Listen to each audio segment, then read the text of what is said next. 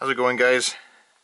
It's been a while and uh, I'm finally starting to do uh, the repair video on this 3000 watt 48 volt uh, reliable electric converter that was sent to me by Chris from YouTube. Um, what happened with this inverter uh, is he had an electrician uh, wire this into his generator panel and he used uh, the neutral slash ground uh, same thing on this uh, unit. Um, it doesn't really have a neutral. It's actually just ground. And so you hooked up the two lives and the neutral and the neutral is bound uh, to the one live or sorry bound to uh, ground eh, on this inverter. But what happens is is the ground is bound to your neutral in your in your breaker panel and on this inverter from live to ground and live to ground you get half voltage. So if you use the ground on this inverter it it's pretty much dead shorting your inverter. So that's what happened to this one. Uh, all the let's just take this out. I already uh, unscrewed it from the from the case itself diodes. And then we got uh, some more of the the input stage this output stage. All the output stage FETs are fried.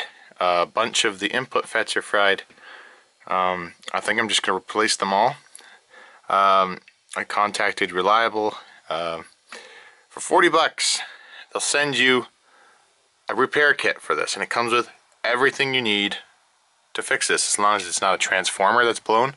Um, they give you this board. They give you this board. They give you all these little tiny little uh, resistors. They're going to be a big pain in the ass.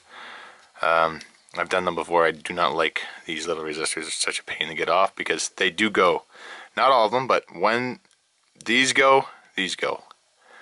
So, this is going to be a fairly lengthy, long repair video. i am going to uh, deliver this in parts because it's probably going to take me a week uh, on and off. I'm not just going to go at it straight for six hours. I'll probably do it an hour here, an hour there. But yes, it will take probably about six hours to repair this.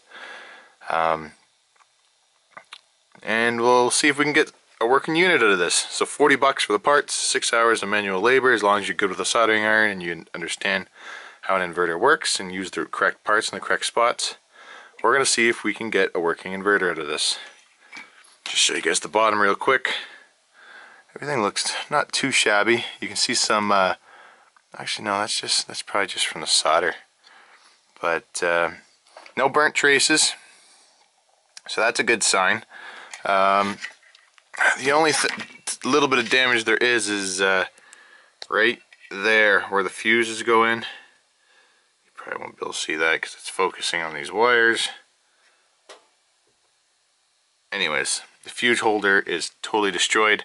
They gave me some new ones, so we're gonna have at it. Anyways, I'm gonna start working on pulling the MOSFETs off first, and then uh, replacing the MOSFETs, and then I'm gonna work my way to the resistors and do the resistors. Then I'm gonna eventually, let's see if I can turn this all with one hand. I'm gonna eventually make my way um, to these boards here these boards are a pain because you gotta unsolder all these at the same time. I'll show you a little trick that I use to unsolder them. And uh, yeah, anyways, thanks for watching.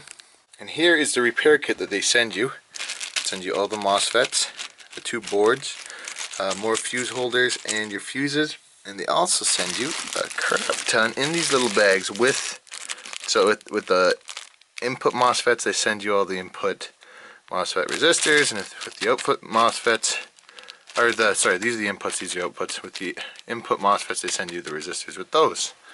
So, let's get started. Here we go. So we're going to start by removing, I'm using the wrong screwdriver for the job. My other one, so I might have to go get the right one. These are tight, wow. They do a good job on making sure their screws are tight. That's good. I like to see that. So, there we go. Nice and tight. The one thing I want to note, the guy that sent this to me, Chris, he got another one from them. And the second one, I don't believe he fried it uh, by bonding the ground and one of the lives. I believe that one he got was just a faulty unit. I'm not sure uh, why it was faulty. Uh, I know why this one burnt, and this was because of that problem I mentioned earlier. Um, but he's he's having problems, and uh, so he's working it out with the company, and the company's kind of putting up a fight now because they don't want to send any more inverters. So we'll see what happens with him. But uh, yeah, that's the way that goes. So it's not a perfect company, obviously. That's too bad, but uh, just the way it is. Uh, let's see here, what else we got? Okay, we got these giant screws on the bottom, on the heat sink in.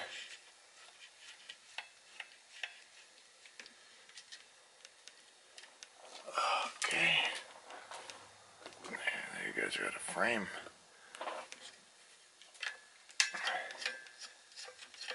We're going to work on these uh, MOSFETs first before we get too far. And that'll be the first part of this video.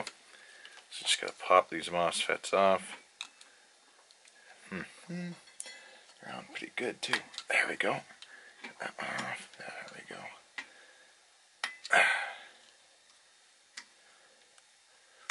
There we go. Okay. So now we remove this heat sink. Put that off to the side. And I'm going to pause you for a second because I'm going to get my multimeter and we're going to double check these MOSFETs. So this is so you guys can see in here, when I touch my two prongs together, represents a dead short. So this is the input MOSFET, dead short.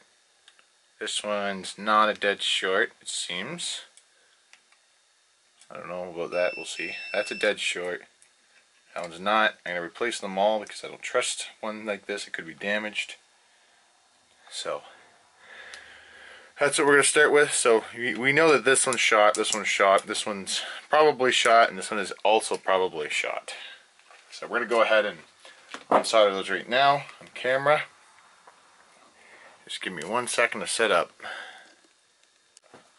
I got a protective tin barrier between uh, what I'm soldering and my batteries. I'm soldering on top of. And we're going to go at this.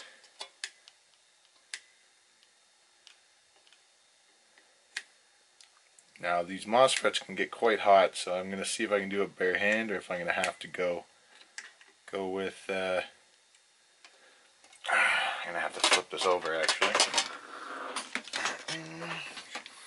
Have to camera here. So I'm to melt this side of the solder and uh, try.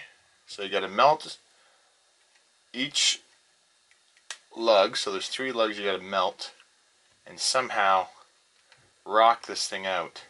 Unless you have, uh, yeah, I don't think the soldering iron is going to quite do it. Doesn't put out enough heat.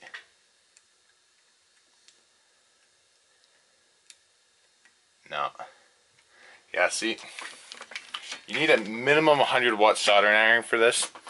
And this is not a 100 watt soldering iron. This is more for fine stuff It can barely, like these big sections. Like, look at this. See how long it takes? It can't melt it.